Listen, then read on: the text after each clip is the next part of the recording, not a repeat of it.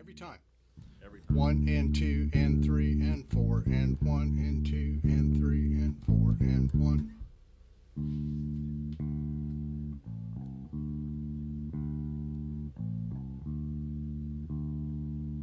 Yeah, okay. Yep, I'm with you. And you think my note choice is going to the G?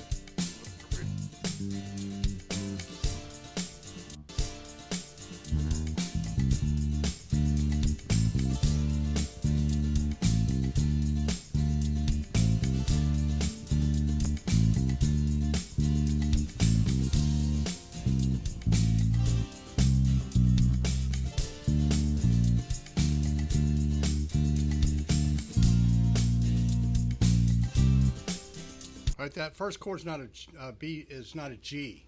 It goes to B flat to C.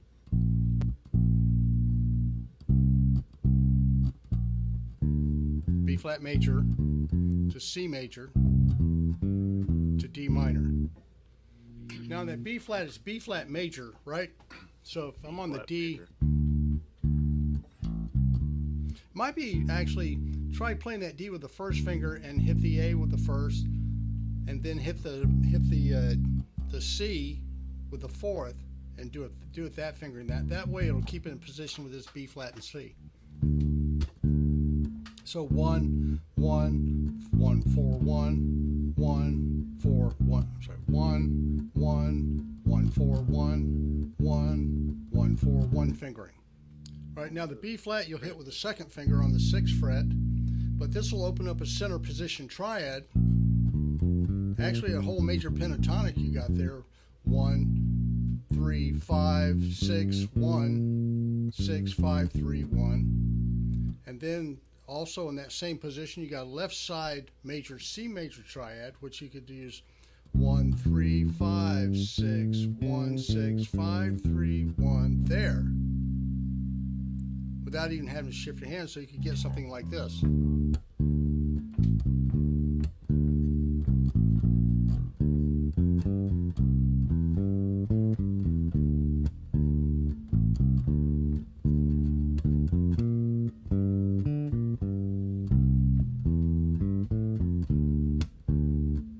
Got all these notes like right there that you could Yeah. do without shifting if you want.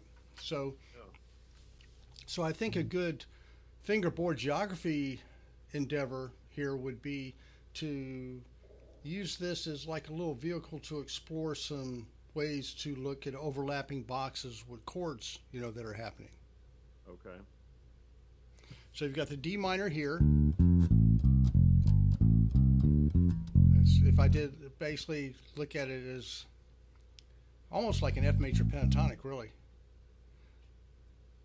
Play play the F on the sixth fret of the B string with the second finger.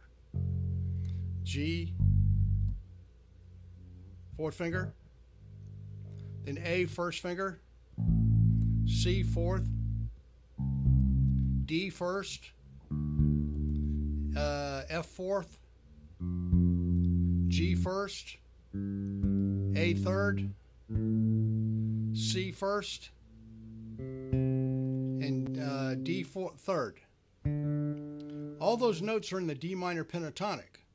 Okay. So I mean, they could be not. You have to utilize them all, but I mean, they could.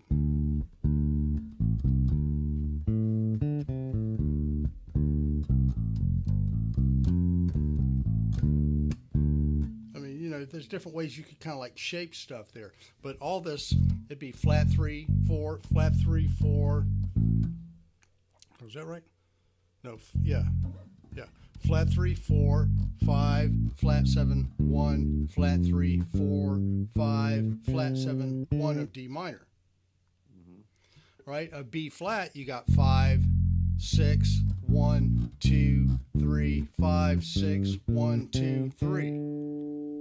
Of C, you have three, five, six, one, two, three, five, six, one, two.